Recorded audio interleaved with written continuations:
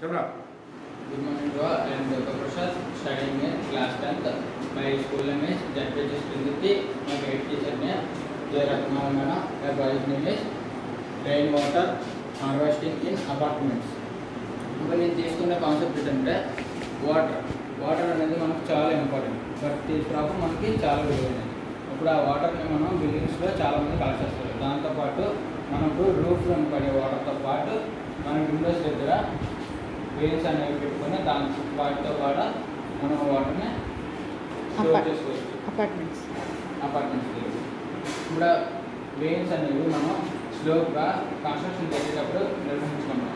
అవి స్లోగా పెట్టుకుంటే మనకి రైన్ ఈ విండోస్ దగ్గర పడేటప్పుడు పడిన వాటర్ని ఇలా వస్తుంది. ఈ స్లోప్గా ఉంటుంది కాబట్టి స్లోప్ ద్వారా ఇలా డౌన్కి వచ్చి పైప్స్ ద్వారా మనం కిందన హార్వెస్టింగ్ ట్యాంక్ అనేది పెట్టుకుంటాం.